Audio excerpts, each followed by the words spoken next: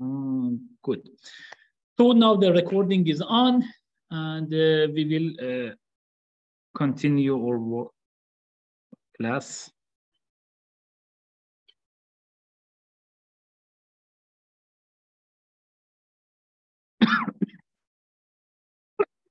hmm.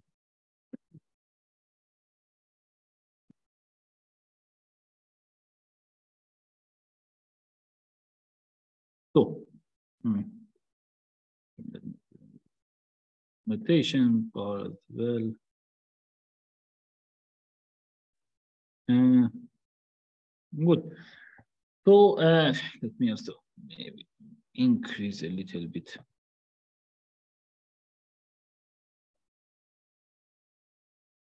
So can you read it? Actually, one other thing, if you can move a little bit to the center, that would be better than going to the back of the class, maybe from next time. Uh, just come a bit in this area. This area would be.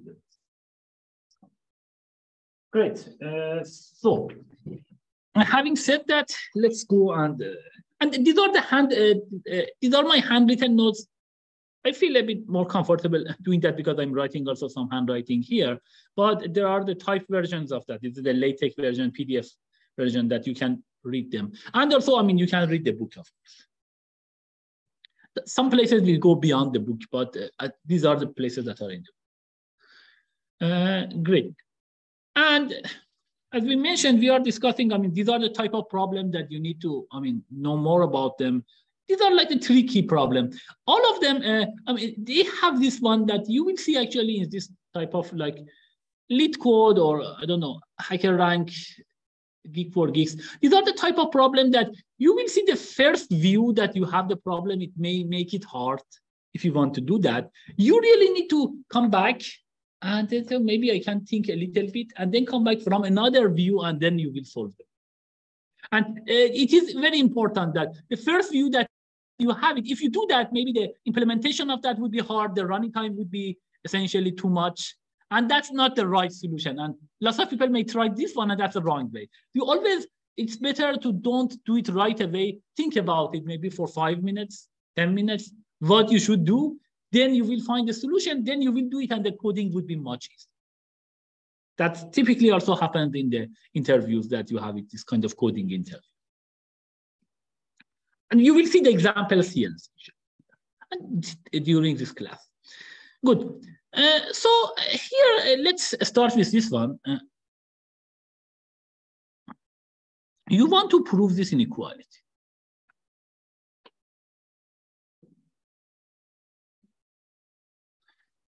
You want to say one half plus one fourth plus one over eight to uh, plus one over two to the n is less than 1. Good. And you want to use essentially the induction. So here, uh, the question is that uh, how can you prove induction for this one? Because uh, uh, what is the issue? The issue is that you may say that, okay, this one half plus one is two. So what would be the induction hypothesis? The induction hypothesis, of course, when n is equal to one, what will happen? Actually, let me just do this one.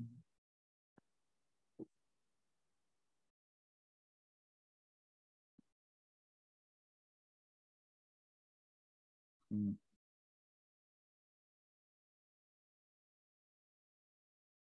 Just one.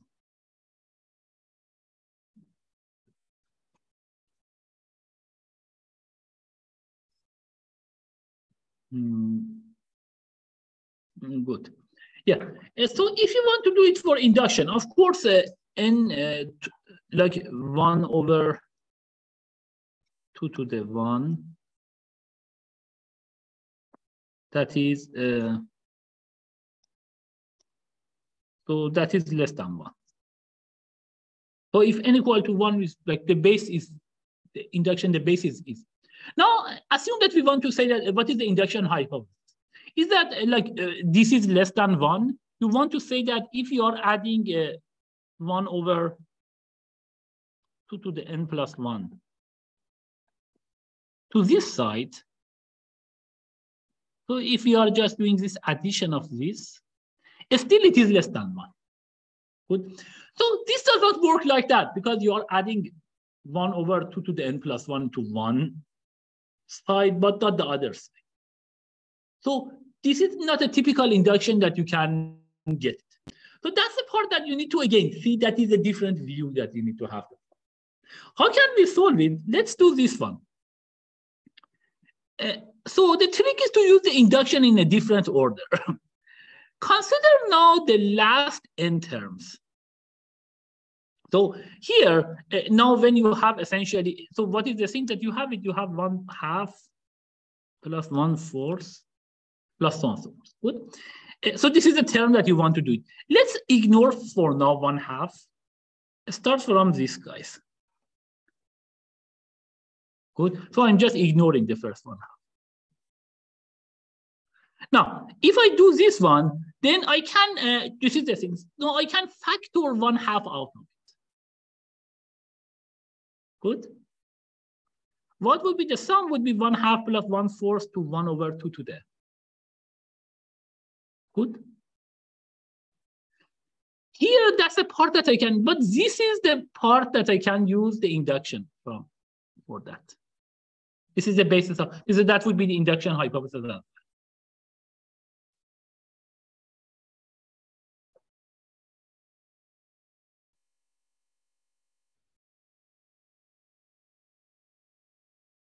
to induction hypothesis. So uh, here, the theorem itself is somehow induction hypothesis. Here I can use the induction, like this is what the trick. I will just ignore the first one half, then I factor out the first one half, then I have these guys, correct? Now, uh, I know that this guy by induction hypothesis, this is, this is exactly this one. So this would be less than one. It means that one half times this would be less than one half, correct? The only remaining term that it remained is this one half that I have ignored it. I know that this term, the remaining term is less than one half. This is one half. So I will just add both to both sides one half. This becomes the, the, statement that I wanted to get for n plus one. This guy becomes one half plus one half, which is one, which is less. Does it make sense? Can you see the best part again? So, uh, so, so uh, uh, here uh, from the induction hypothesis, I knew that this is less than one, correct? So this one half times this would be less than one half. So now, uh, uh, like, what did they want to prove? So the, this is what the induction hypothesis: one half plus, like, one fourth to one over two to the n, less than one. However, I, what do I want to prove? This is the induction hypothesis. I want to say that one half plus one fourth plus one eighth uh, two plus 1 over 2 to the n plus 1 over 2 to the n plus 1. So I have everything here except this one half that I ignored.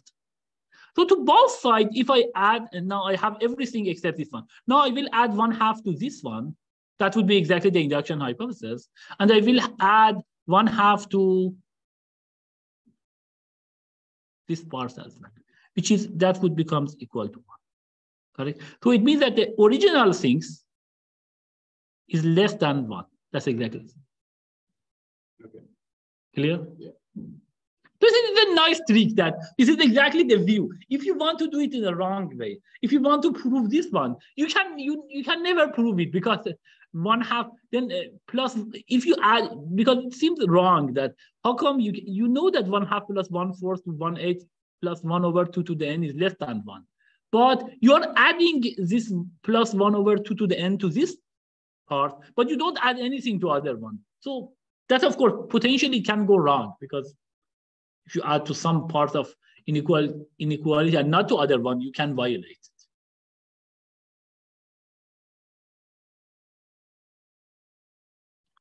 Uh, Fabiola, uh, do you hear me well?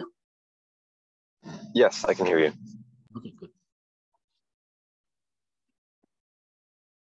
Clear? Any questions? Good. Uh, so let me clear everything here. Let's go to the next example.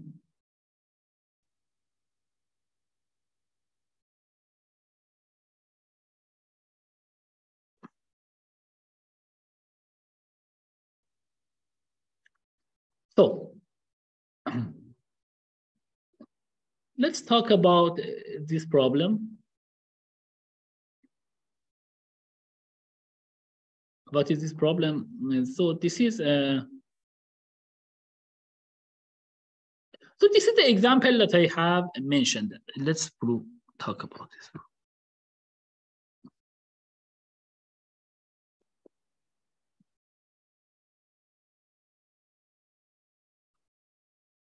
If x1, x2 to xn are all positive numbers, then uh, this x1, x2, xn to the 1 over n is less than, so this called geometric uh, mean. And this one is called, uh, I mean, regular mean or additive mean of these numbers. Hmm. So if you have x1, x2, xn, then you can get multiplications of that. So the one over n is called geometric mean, and the other one is called uh, additive mean, essentially. And you want to say always the geometric is less than additive. So that's a uh, famous essential, famous inequality. Good. And if you remember, I mentioned about some induction hypothesis before. So I mentioned that one way is that you will go from one, then you will go to two, then you will go to three, and so on and so forth. Good. And so on and so forth. Uh, and so this is in some sense that I mentioned. So this is the regular induction. Then if you remember, I mentioned that for three, you, you can use both one and two. For four, for example, here, you may use uh, three, you may use two as well, and you may use one. And the question was that whether you can reach any of these numbers or not.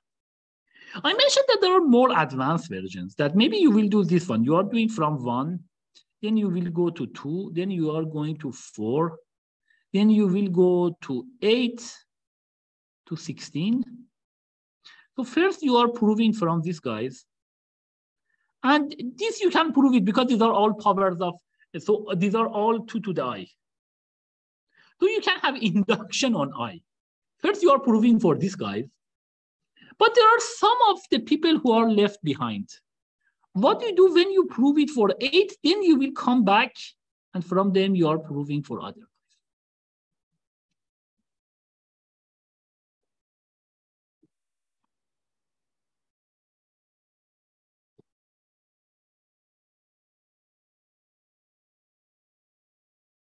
Good. So this is a case that uh, we are using some kind of uh,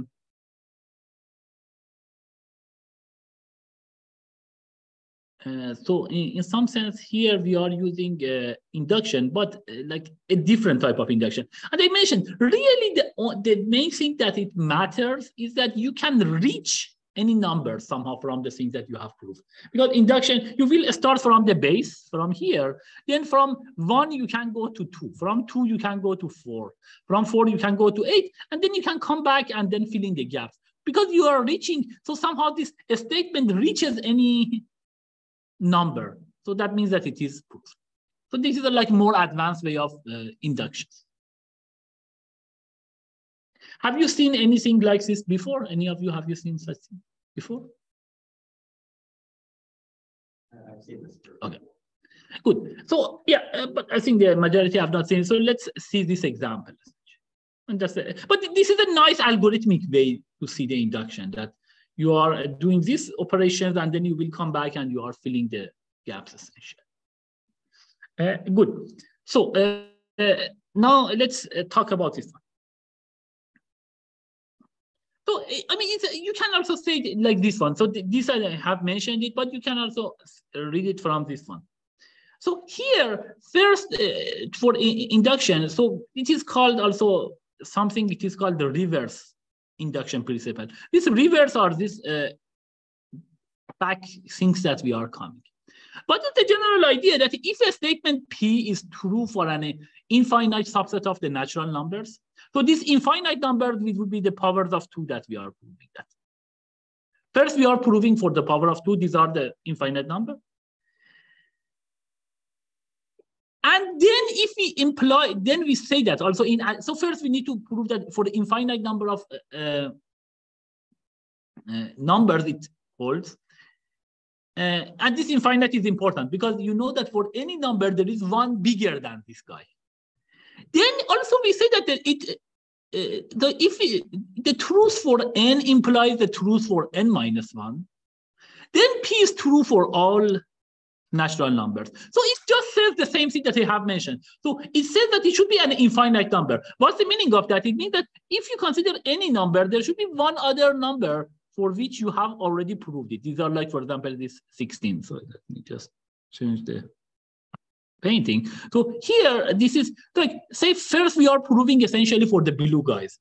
We know that if you consider any number, any red guys, either it is blue that we proved it for that, or it is red. But if it is red, there is one guy which is after that, which is blue. That comes because of the infinite now. Then when we have that one, then we have this additional thing that when you can go from n to n minus 1.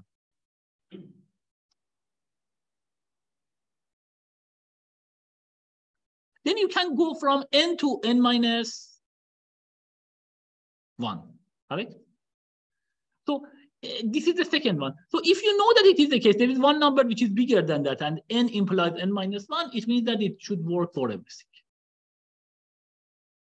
Because as I mentioned, you can reach every number by this induction hypothesis. It's like whole induction is like a, some algorithms for this particular graph.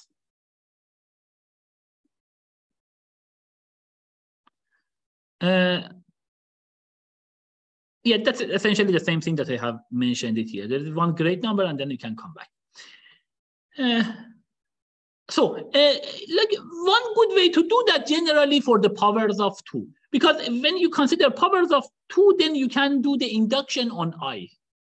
So when i goes from one to two, then you like from here, for example, if you have two to the i, if goes i goes from one to two, you will go from two to four. When i goes from two to three, you will go from four to eight, and so on and so forth. Good. So let's see then an example for this. Uh, so uh, let's consider the thing. Let me clear everything.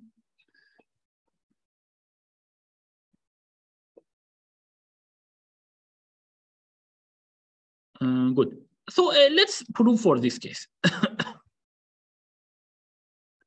let's start for n equal to one. So what do we what do we need to do? This is the base of induction. You need to prove this one for n equal to one, correct?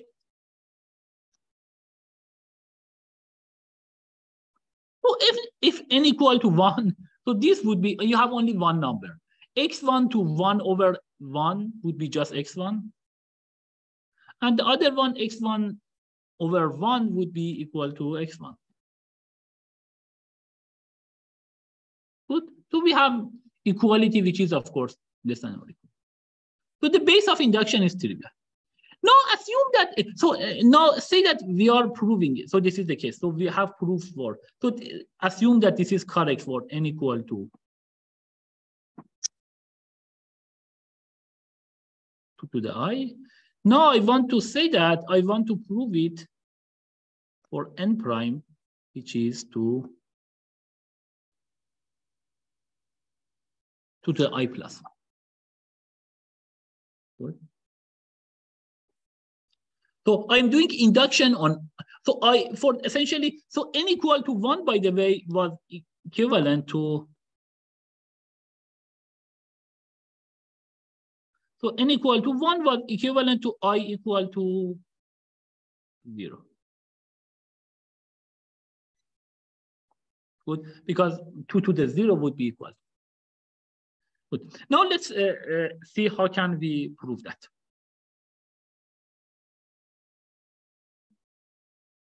Mm. So let's, I mean, if you want some time for the, as the basis of induction, you might actually try to do it for, just make sure that you are not missing very special cases. You may try for one or two. It's not necessary, but just if you want to do it for some sanity check. Go for, for example, n equal to two, again, n equal to two would be equal to i equal to one because uh, we are assuming that we have this assumption. n is equal to 2 to i. Good. Now, what do we have here? Uh, say here we have uh, this one, this versus this. When we don't. So that, that would be easy to just make this one the power, make both side to the power of two, and just do simple math.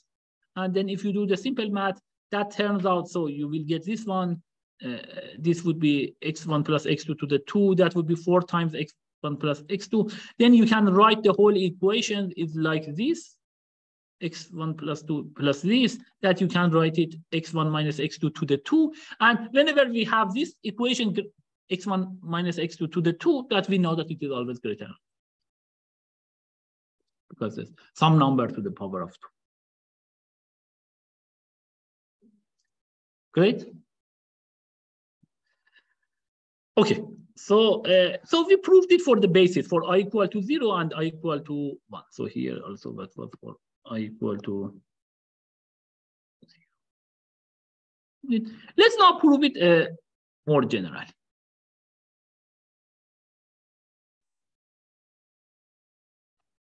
Yes. Um, so are we doing induction on I? Yes. Uh, I mean, you can do induction in anything that you want. So we do induction on I such that we can get, uh, so this infinite series of n.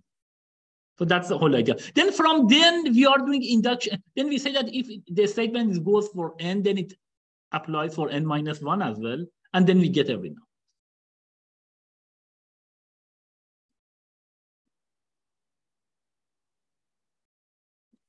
Good. Now, uh, assuming this uh, one is, uh, so what is this one? This is, uh, so this is the induction. Uh,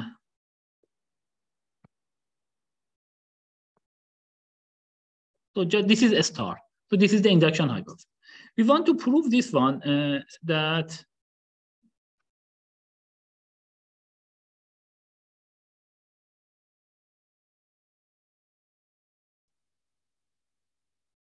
Uh, so maybe actually I can just write it here. So we have this. Um.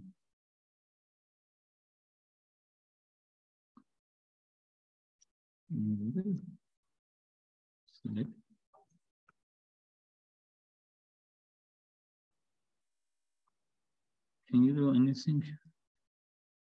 Yeah. Uh, anyhow, uh, so uh, so uh, here, uh, so a star is this one. Just remember that x1 times x2 times xn to the 1 over n is less than or equal to x1 plus x2 to xn over n. Good. Now assume that it is correct for uh, some n which is 2 to the k. So say that is correct for n equal to 2 to the k. Now I want to prove this one for 2n, which is 2 to the k plus 1.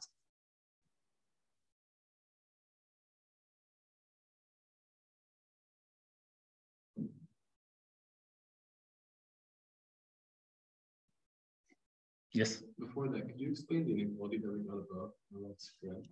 Eh, you mean this one? Yeah.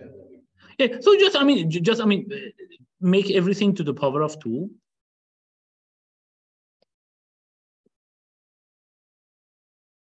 If you make everything to the power of two, then we know that that becomes like this, correct? Yeah. And then you will just rewrite this one, x1 plus x2 to the 2. You just write this one, do the algebra. That would be this, and then would be for this. So you will just bring these guys from this side to this side. It becomes minus. It, it so if this would be this would be x1 to um, uh, to the 2 plus uh, x2 to the 2 plus 2 times x1, correct? Yeah. Then you have this minus 4, you will bring it here, it becomes minus this. And then you can write this one as this, and then you will get. Simple algebra. Uh, good. And I mean, algebras actually are important. Like we cannot do the program without algebra because that's the thing that we are getting. We are always using lots of algebra in CS, uh, especially when we want to prove, or even, I mean, like the places that we don't want to prove, like machine learning or other. Still, algebra plays a very important role. Algebra and probability. Good. Now, uh, so this is the, uh, so we have this uh, left. Uh, so now let's assume that that is correct. This star is correct for n equal to 2 to the k. We want to prove it for 2n, which is 2 to the k plus. Good. We want to go from here to here. Okay, so what do we write? We just write this one, x1, x2, x to the 2n to the 1 over 2n, correct? That's the thing we want to do. So then we want to show that this is less than x1, x2 to xn to the 1 over n. Uh, yeah, okay. So uh, uh, like first we write this one. Now here we are using induction hypothesis, correct? Uh, yes. So uh, oh, uh, here essentially is uh, one, yeah, okay. So uh, uh, what can we say here? So here we have x1, x2 to x2n. So this is actually power of two here. So this is, so that we can just, this is equal to this correct? Because this is the power of one over two to the n. So here this is x1, x2, xn to the power of to the power of one over n, and then here is power of one over two. So it will be one over n times one over two would be one over two, and that we have it. I'm just rewriting it. I didn't do anything. Now, this part, call this one uh, y1, and this part y2.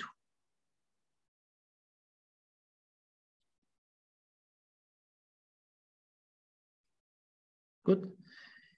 Here, actually, that is interesting. Here, I am using, uh, so uh, so I know that uh, what is this one, x1, x2 to x2n to the 1 over 2n is, is equal to y1 times y2. And y1 essentially is this term, y2 is that. Clear so far? Any question? Fabiola, is it clear to you as well? Yep, I'm all good. Great. Okay, now let's do this one. Now here, actually, that's one important thing. Here, this is a special case that we are using it for n equal to 2 or i equal to So that was actually the reason that we needed to prove it also for n equal to directly. Because if we didn't prove it, then we couldn't go from one to two. Here we proved this one before for n equal to two, so now we can use it. So sometime, I mean, this is like, as I mentioned, the combination. So when you go from here, maybe for the first guy for n equal to one, we prove it.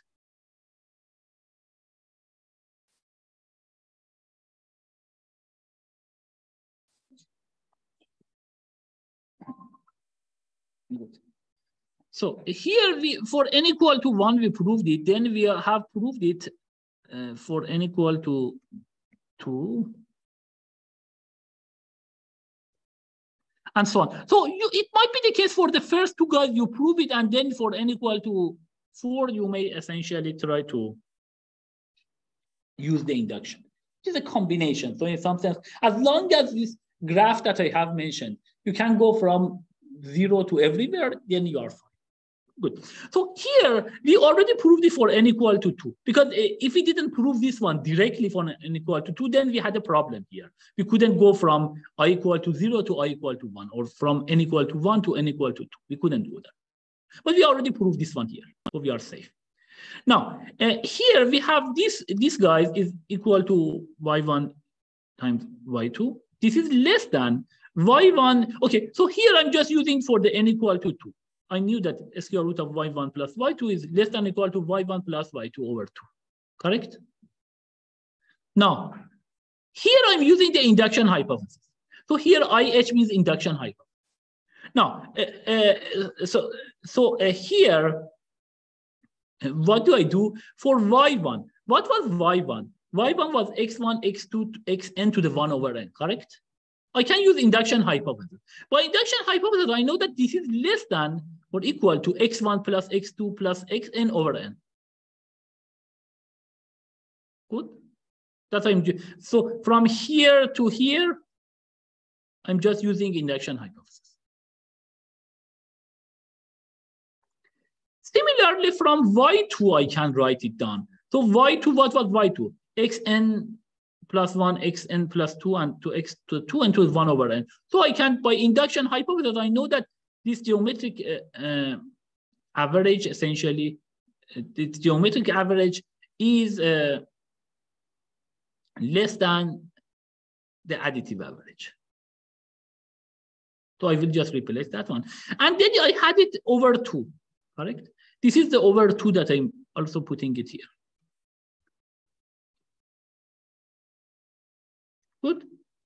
Now we are done because this is n, this is n. So it would be x1 plus x2 plus xn plus xn plus 1 to this one to x to 2n. What would be the denominator would be 2 times n. That's it. So we could prove this one is less than equal to this one as we want. So that was very easy actually to go. So we have used two things. Somehow we have used induction hypothesis twice. We have used it for n equal to 2 here.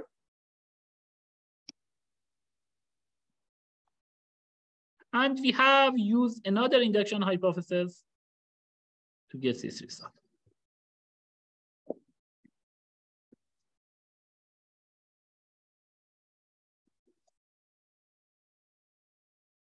Is it clear? Yes. No question. Uh, yeah, go ahead. Um, at the start of the proof, how did you recognize the and before the so the, uh, so uh, you mean this line here? Yeah, like at the beginning, like how did you recognize the and before so to prove that inductive step? Yeah, so, yes, I think here in some sense, if you try to do that, you will reach here. So to reach here, I mean, you say, oh, I cannot prove that because I need this one. So in that case, you will go and prove it directly, and then you are. That's the way that attention. Sometimes this happens that, I mean, you essentially for any, when you go to that the beginning, here we use, I mean, some complicated things because to prove this guy, as I mentioned, you can use anything between, like before that, including the two. But here, for the case of two, you couldn't do that because uh, there was nothing there. You, you need to sometimes prove it directly and then. But you didn't need to prove it, for example, for three or four or something, because that's that's enough. So for n equal to one and equal to two, that's enough.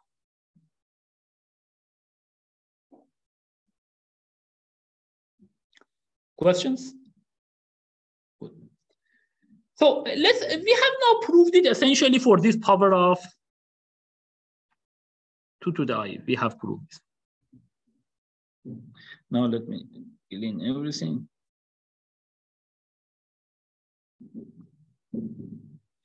this clear bottom is the my favorite button because it's one click, everything is gone.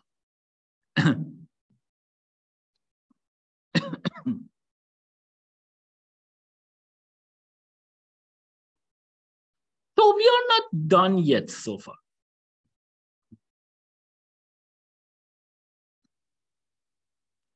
So as I mentioned, so we could prove it. Uh, so we could prove it here for one, two, four, eight, I don't know, 16. But we need to prove now the in-between guys.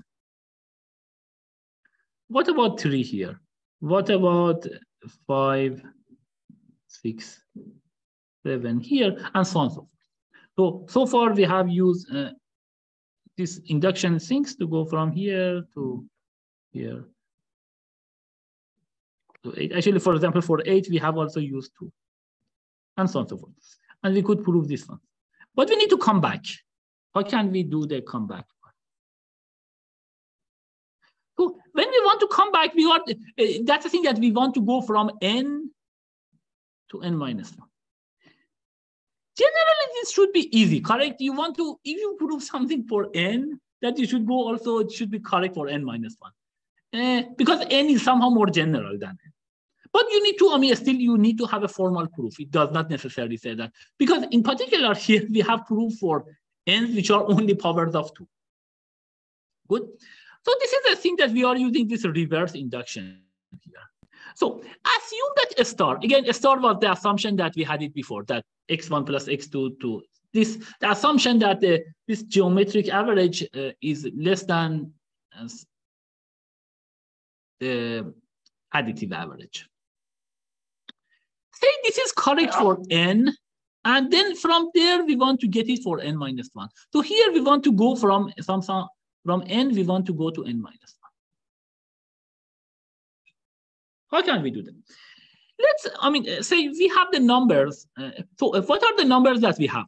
So you want to, uh, for n minus 1, you have n minus 1 numbers, correct? You don't have the xn. You only have x1 to xn minus 1. You don't have xn because there are n numbers. We have n minus 1 number. So I need to create the nth number. How do I create it? That's the way. So let's define this z as the nth number. Will be x1 plus x2 plus xn minus 1. These are the ones that you have it over n minus 1. Good. Now, we know that uh, this, uh, okay, now I'm using induction. I know that the induction is correct for n numbers. What are the n numbers? x1, x2, xn minus 1, and this z that I have defined it now. So z plays the role of n minus 1. Somehow z is dependent to the other previous numbers. Then what do I have? So this is a just induction hypothesis. It knows that x1 times x2 times this guy times z to the 1 over n is less than x1 plus x2 plus xn minus 1 plus z over n. Good. Now what do I do? Here, uh, so I, I have this one by induction hypothesis. So this is by induction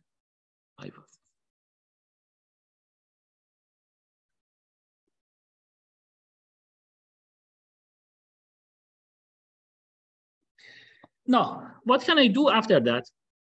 let's consider this Z guy. But like, uh, what was the thing? So I knew that Z is equal to this. It means that X1 plus X2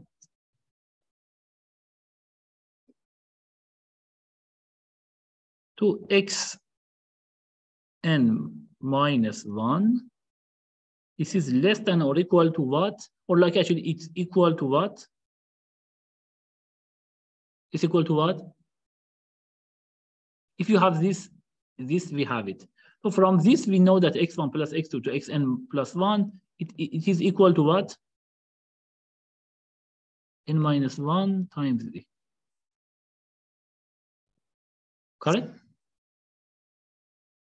I just replace that one. So here I have the same terms. I just replace it with this.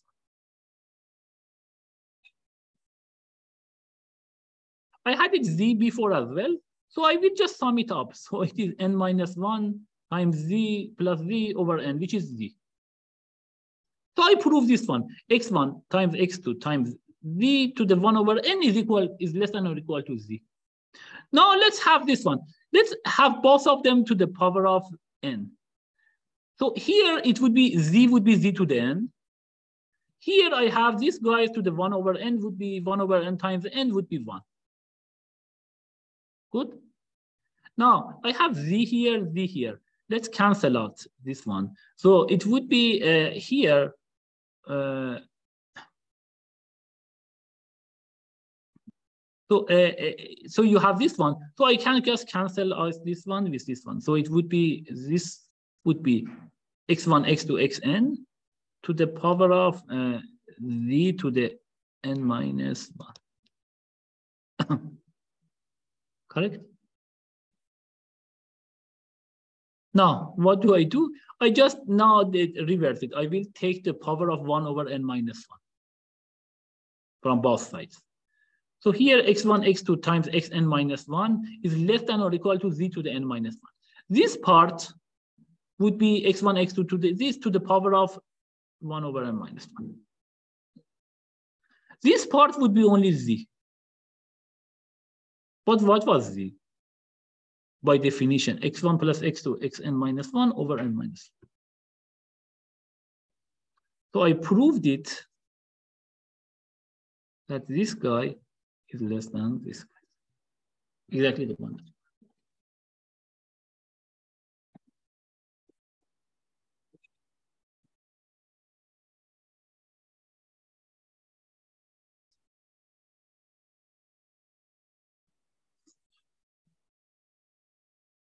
Does it make sense?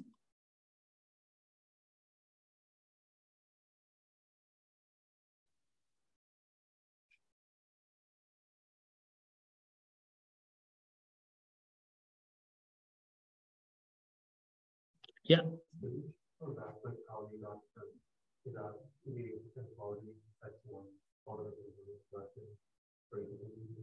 Hey, I don't hear you well. Can you go back to how you got uh, the final equality from x1 to x, minus 1 times? Uh, so you mean uh, which line here? The, the, yeah, from here? Yeah, Yeah, so, so, so from here, I had, I mean, I have just, I mean, so far I have proved this one, correct? This part. So we, I'm just uh, explaining this part. So I proved this one essentially from this one, it is less than z, correct?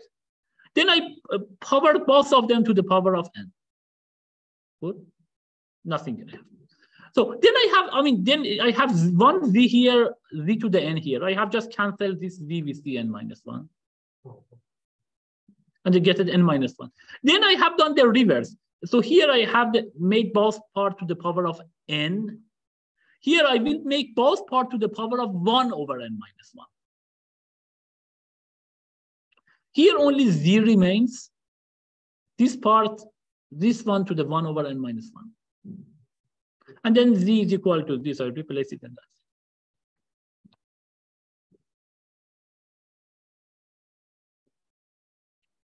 Clear?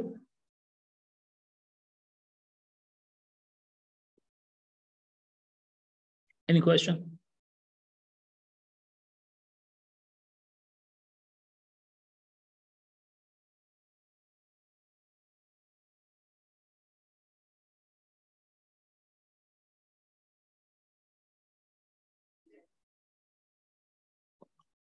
Good. Okay, so let's uh, clear everything.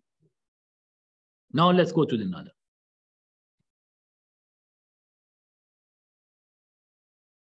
So, so far we have done some equations, but now let's go to the program. So eh, when we have a program, I mean, eh, so if we want to prove the correctness of an uh, algorithm. So we, how do we use the uh, like induction? Generally, it's the case that I mean the algorithm might be complicated. We generally we prove this one. Uh, I mean, if the program, if there is no loop in it, there is no for while or anything similar to that, then this is just a constant number of things. So generally induction probably is not working. You need to do all case analysis.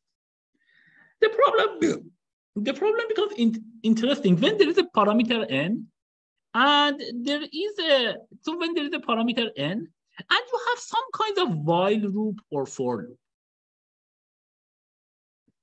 So when we have a while or for loop, generally for for or while, for important parts, not again, for there are some trivial parts that we can do it and that we can, we don't need to prove it. For some important part, we need to uh, prove that this for is doing correctly. This is the thing, uh, so when we consider some kind of any uh, consider loop execution, we have some kind of induction hypothesis, which is in, in this case is actually called loop invariant. Loop invariant, essentially induction hypothesis that we try to prove for this. And generally, I mean, we are uh, doing this for important problems like for important part of the program, not for everything, because some of them, I mean, you need to write, you will check it. And again, if there is no for or while, generally it means that there is no nothing uh, non-trivial here. You have done some case analysis. But the problem is that there is an input n, and this n, there is some for or while or something.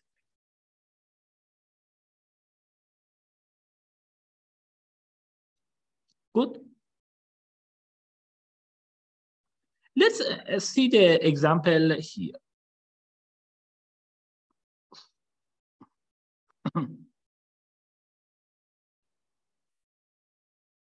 so, what do we want to do? Let's see an example.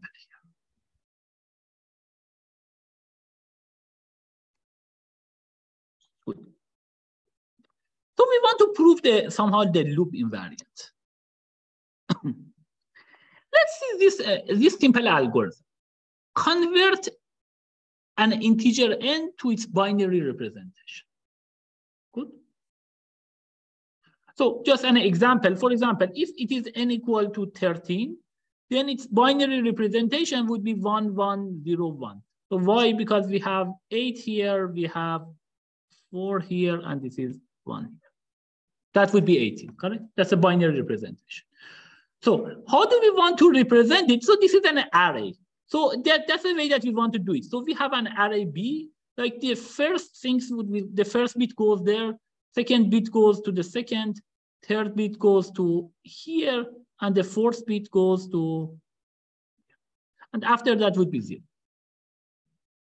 Like B1 should be the le least significant bit when you represent this guy in binary.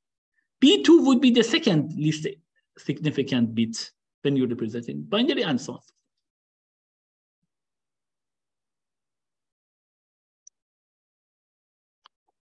Is it clear? the problem and how, how do we want to read? So this is essentially B1 or B0, it doesn't matter. So this is B1, this is an array, B1, B2.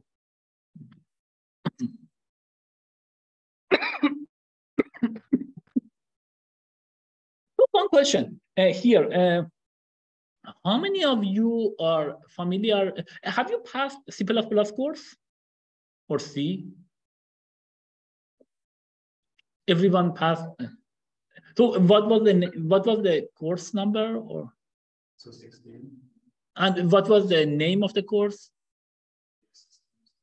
Oh, computer system. Everyone passed that course? Okay. So, and they are teaching C and C++. C or C++? Just C. Oh, just C, okay. Just C is not enough. I think you need to do it C++. Plus So one thing that I have mentioned actually is very important. This is uh, C++, uh, I think 20. Uh, I think 20 means 2020. That's a release 2020. But uh, the one which is actually, I think the people more standard one, I mean, maybe that is also good. I mean, uh, C++ 11 has changed a lot. So sometimes C++ 11 changed a lot comparing to previous ones, but all of them, there are C++ uh, 14 or 15, and then C++ 20. I think there is C++ 22 or 23 is coming as well, but uh, that's also the new version. But anyhow, so this C++. Uh, uh, have you, uh, how many of you know about STL? In C++. But did they teach in the course? Yeah. So what is that? Yeah. So this is very important. This is, STL is very important. If you want to go to software engineer to do any interview, etc., you need to know this STL quite well. What are these? These are some essentially new things that has been added. Uh, we will talk about them later in this course when we do it. Uh, but uh, let me just see whether I can. Um, yeah, uh, let me bring it later uh, for this one. But here, this STL is very important because that actually it is. I think one of the interesting things that Python had this structure. C or C++ didn't have it. STL is the one actually that has been added those things that they were in Python to C++ and makes the life much, much easier. What do they have? They have vector, they have mapping, they have uh, priority queues, they have set, multi-set. And these are the things that actually make the life much, much easier to work with. Otherwise, there is just simple array. And if you want to do is array, not everything is hard. And one other thing is that the fact that they are dynamic. It means that you don't, uh, actually the array is now also, you can do that. You don't need to say what is the size of the array. Before you need to say that you define an array, you need to say what is the size of this array. Unless if you want to use pointers in C++. There you could actually avoid it, but then pointer is not I mean, still you need to work in C++ pointer. You cannot avoid pointers, but it some of this now you don't need actually pointers and you have this. So STL is very important. We will come back to it. I think that's you should learn it. And that's the core that any interview you will go there, that's the thing that they will ask the questions. If you want to put do it in C or C++. That actually for software engineers, still like, for example, Google or um, I mean, some other companies like hedge funds or other, they are actually asking C++ because that's faster things comparing to Python. And anyhow, one other interesting that I mentioned that binding that if, how many of you know Python? Okay, yeah, Python is good, but I mean, Python is also not a simple language. I think that people may, you can write very uh, easily something there, but if you know all the possibilities of the things that you can do it at Python, that's actually complicated uh, language. C++ was a complicated language. Then uh, Python came and got some of these ideas, especially object-oriented things from things, and then changed some of them. Like this concept of decorators or something like this is a bit, I mean, maybe eh, or like a, a wrapper, this type of things came more in the Python things. And then some of them also, also some convenience like sets, multi-sets, uh, all of these dictionaries, which is essentially a mapping, all of them uh, now from Python went to actually C++. So I will say at some point, all these languages will convert to something. However, C++ is still faster language. And some part of Python like NumPy or Pandas or other, they are written in C++. And actually, you can do this one as well. So you can uh, write this one. This is called binding. You can bind Python and C++. For some part that you want to do faster algorithms, you can actually write it. Like I think there is a network uh, X that's a um, module that you can use it in Python for network or graphs that we will talk more about it.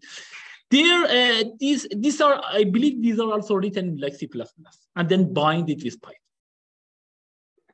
So that's, I think these two languages, if you know them and you can use both of them, that would be very powerful. Because they are somehow end of the spectrums. Python is like very uh, handy for the text stuff. C++ is very fast, and there is Java in between and JavaScript after that. These are all in the same ranges, from uh, C++ to Python. So anyhow, this STL is some of the things that you can use it and that would be very useful. Uh, good. So let me see whether we can uh, finish this one. Okay. So what is the algorithm that we have here? We have this algorithm. You convert this n given n to binary, and the binary should be this array. I mean, this array actually you can use it as a vector now, and then uh, in the uh, using STL in C++. and you do uh, represent this one. So in some sense, you don't need this zero anymore because the, the size of this array, it can be dynamic, it can be size four. Okay, so n is given to you, and then uh, b is an output uh, array of bits corresponding to the binary representation of n, such that the least significant bit would be the first element of the array, or the vector. So we use vector or array interchangeably essentially in C++. Now, uh, this is the algorithm. So uh, let n because let's t t is the integer variable, a new variable t that preserves n. So actually, it is interesting. So in the C++, if you use it, you can say int of. You need to introduce it. You can say int of t, or uh, if you use it, that's also very nice things. It is called auto. Nowadays, they are using the people. This is more Pythonian type of things that they are using it. So when you put auto, it means that the compiler should find the type of this from itself. You don't say which things, you should find it. This is exactly the fact that in Python, we don't have any type generally. And the compiler once finds it or interpreter finds it. Anyhow, so you will say this is the, so this is some variable t is equal to n, is a new variable to preserve n. k is equal to zero, what does it do? It says that while t is greater than zero, k is equal to k plus one. It means that go to the next uh, bit, the next least significant bit. bk is equal to t mod 2. Mod in C++ would be percentile. In uh, Python would be mod. And then t is equal to t over uh, div of t. div is just, I mean, this slash.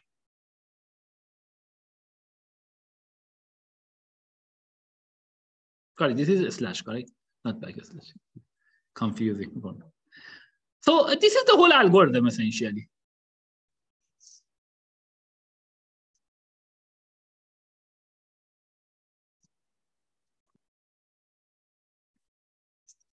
Good.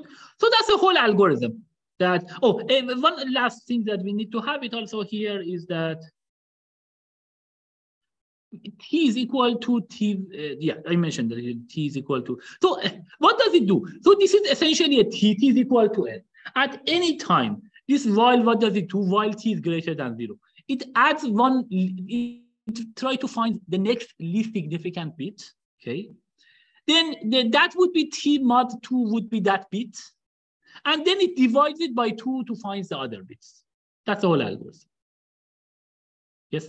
Shouldn't it add to k after it does the division in one?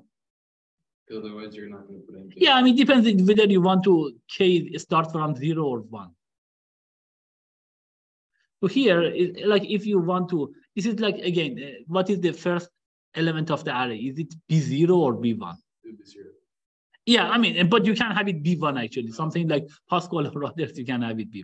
But yeah, that's up to you. You can this you can move it here. That's not important. Here, I mean, I put it this one, we just prove it for this one, for BK, uh, like B1, B2. B1 would be the first, the first uh, least significant bit. That's the thing that maybe is more convenient. Good. Now, uh, what do we want to prove? We want to say that this algorithm converts to binary terminates and it gives the binary representation of n stored in the B.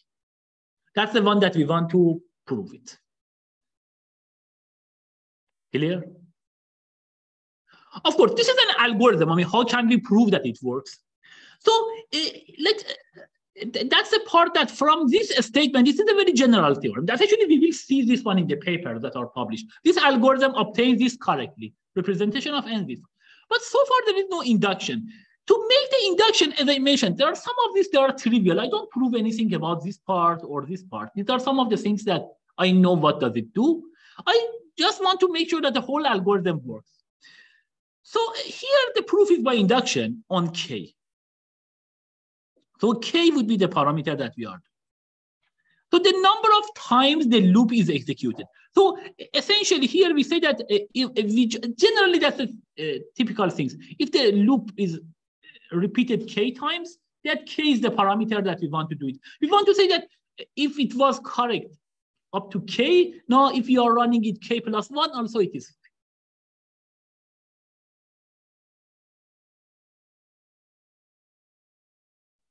Okay, so uh, what is the loop invariant or induction hypothesis that we want to? Let me clear everything.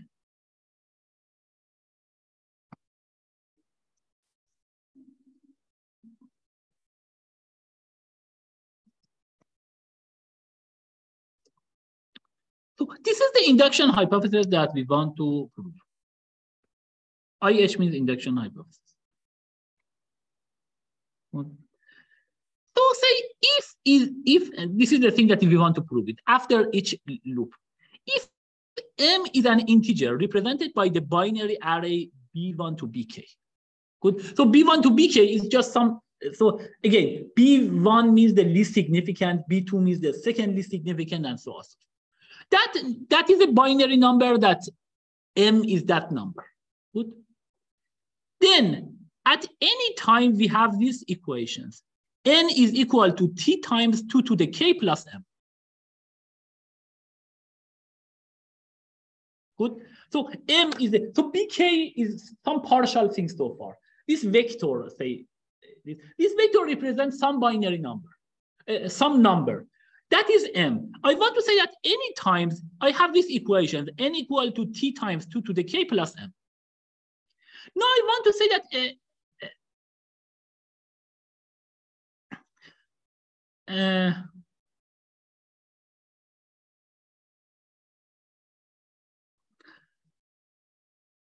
so what does it say? So essentially, it says this one. If you want to construct n, so what is the intuition behind it?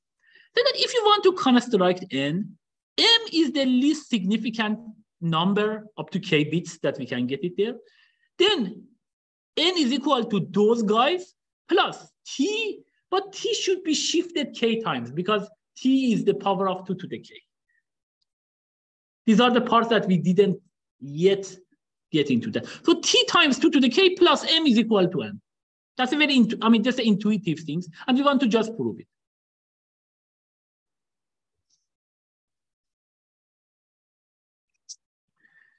So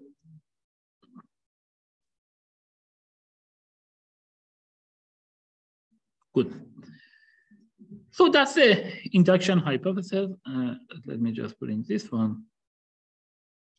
Good. Now, to prove the correctness of these things, so to prove the correctness of the algorithm, we need to prove this one. So the hypothesis is true at all at the beginning. This is the basis of induction. So we want to say that uh, if it is true for at a step k, then it is also true at a step k, k plus one. That's the induction hypothesis and we need to prove it. And we want to say that when the loop terminates, then induction hypothesis gives the correct solution. This gives the correctness of the algorithm. So let's start with one and three essentially. First, one and one and three are very easy. So what is the basis of induction? If is k equal to zero and m equal to zero, so if we like we have not done anything. So in that case, it is n is equal to t. Why n is equal to t? Because uh, I mean, as we have seen it here, but this is by definition. So when k is equal to zero, and I mean, k is equal to zero and m equal to zero because there is no bit, t is equal to n. So we have that one, the basis of induction. Now let's go back for the uh, this one, good. Now what about for three? Three is also easy. So if, uh, now, if t, be, at the end of the algorithm, we are doing that, the while loop is going until t becomes zero. If t becomes zero, then by induction hypothesis, we know that n is equal to zero times two to the k plus m. And zero to, to the k would be zero, would be m. What is m? Is the binary representation that we are representing pk. That's exactly the one that we want to put. Good. So that's also easy essentially to see. Now, finally, we are, uh, let me just, so, the, so essentially we said that at the beginning we are good. At the end, if we have this induction hypothesis, we are fine. No, only thing is that proof from, uh, go from k to k plus one. And let me just do this one as well. And I think we are. So that would be easy. Now for, uh, let's finish this one. No, uh, for two, this is the induction hypothesis. Now say for two, we consider two cases for the start of the case loop when we try to case. If t is an even number, t mod 2 would be 0, correct? t is the remaining bits that are. If t mod 2 is equal to 0, so there is no change to the array because uh, this, this is the least significant why we can just put uh, essentially 0 there. So t is just divided by 2 and k is incremented. So in that case, so what do we do? n is equal to t over 2, 2 to the k plus 1 plus m. So in that case, m will, because m, uh, when we add one bit at the end, so that's the time, if that bit is zero, that does not change m, correct? If you are considering some binary representation, you will add something here, zero, that does not change it. That's the case that happens. So m does not change. t be, becomes divided by two and k go from k plus 1. So this is essentially is equal to t times 2 to the k over m, which was by induction hypothesis was correct. And the last case, I mean, we are done after that. If t is equal, if t is odd, then b of k plus 1 is set to 1 because t mod 2 would be 2, it would be 1. So here, in this case, we uh, what it contributes 2 to the k to the m. Because when you put the last digit bit equal to one. So if you are essentially having this uh, like one, zero, one, one, this is the case that we are adding one, one here. This one here, the value of this would be two to the k. So we are adding two to the k to the m in this case. So in this case, t changed to t minus one over two. That is the division. And k is incremented by one. So what do we have it? So this new number that we have it would be this. n is equal to t minus 1, this number that we have it. t minus 1 over 2, this we don't know it is equal to n. t minus 1 over 2 times 2 to the k plus 1 plus m plus this 2 to the k. Now, I will do this one, 2 to the k, this cancel out with this one. So it will be t to the t minus 1 to the 2 to the k plus m plus 2 to the k, correct? But again, this 2 to the k can cancel out this minus 1 here. It becomes t times 2 to the k plus m that by induction hypothesis was equal to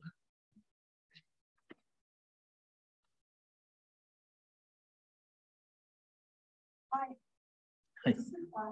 Yes. Uh, uh, good.